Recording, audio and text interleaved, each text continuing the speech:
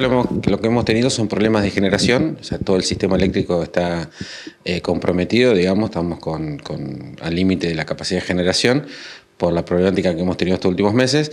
Esto, este equipamiento tiene que ver con la distribución. ¿sí? Una vez generada en la usina la energía, se necesita distribuir en la ciudad y para eso hay centros de distribución donde están alojados transformadores y bueno, todo lo que tiene que ver con la salida a distintos sectores de la ciudad.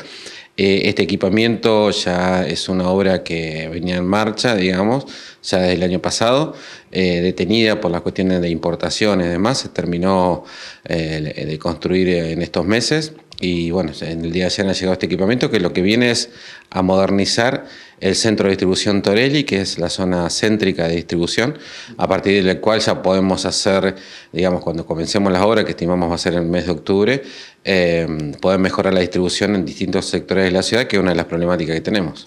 Los centros de distribución, en el caso del otro centro de distribución que es Vilea, no, estamos teniendo fallas, lo que tenemos es no poder hacerlo, controlarlo remotamente desde la usina. O sea, cuando tenemos un problema en el centro de distribución, tienen que salir los equipos de redes y de distribución hacer las conexiones en forma manual. Aquí lo que permitiría, digamos, es anexar equipos nuevos, modernizarlo en el sentido que vamos a poder, a través de controles remotos, hacer la operación desde la usina y no tener que involucrar a más personal y hacerlo de una forma eh, optimizada, sabiendo qué recursos energéticos se lleva a cada sector de la ciudad y ahí poder regulando también la distribución.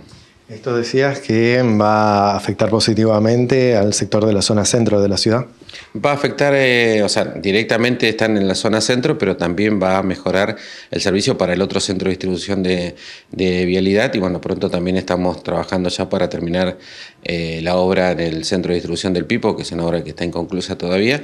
Así que bueno, venimos trabajando con las distintas temáticas de la, de la red eléctrica de Ushuaia, tanto en lo que es generación, la problemática que hemos tenido de los equipos, que también estamos trabajando para eh, pronto tener equipamiento aquí para empezar a hacer la reparación de, parte de esos equipos. Son 10, 10 equipos en total que están generando, entre ellos la Rolls Royce, lo que va a ser un, centro, digamos, de celdas nuevo eh, y la recuperación y mejoramiento de los centros de distribución. Ayer por la tarde, lo mismo que el último viernes, eh, hubo un problema en la Serre y en Magallanes, donde se ubica también uno de estos centros. Eh, ¿Qué pasa puntualmente allí? Y bueno, ¿tiene solución inmediata también esto, digo, por esos cortes que se están dando puntualmente?